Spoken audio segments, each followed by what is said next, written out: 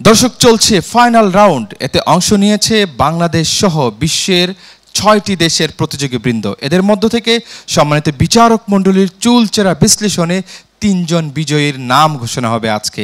কাদের নাম বিজয়ী ঘোষণা হবে কিছুক্ষণের মধ্যেই আমরা তা জানতে পারব ইনশাআল্লাহ। Viewers, we are waiting for our result.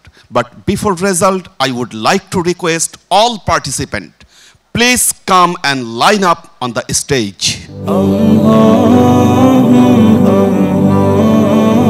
দর্শক, আজকের ফাইনাল রাউন্ডে অংশগ্রহণ করেছিল সেরা ছয়জন খুদে কোরআনের হাফেজ। এদের মধ্য থেকে বিজয়ী হবে তিনজন। কারা সেই বিজয়ী? কিছুক্ষণের মধ্যেই আমরা সম্মানিত বিচারক মণ্ডলীর চুলচেরা বিশ্লেষণে পেয়ে যাব। Viewers we are going to publish our result but we shall published only name of three best হাফেজ not who are the first second or third ইনশাল্লাহ we shall publish it in our prize giving ceremony later.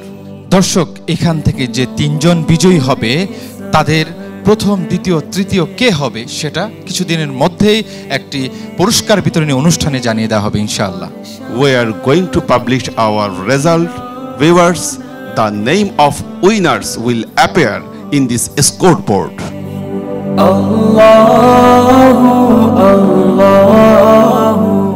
MashaAllah, we got our three lucky names Muhammad Zaki from Indonesia, Muhammad Baligh from Yemen, and Muhammad Irshadul Islam from Bangladesh.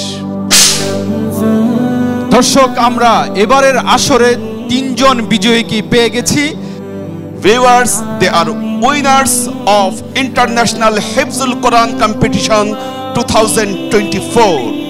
But who will be first, second, or third? Inshallah, we shall publish it in our prize giving ceremony. দর্শক চমৎকার কিছু সময় এবার আপনাদের সাথে আমাদের কেটেছে। আশা করি আগামী তো আবারও দেখা হবে। সে প্রত্যাশায় এবারের মতো বিদায় নিচ্ছি। আল্লাহ হাফেজ। আসসালামু আলাইকুম রহমতুল্লাহি অবরাকাতু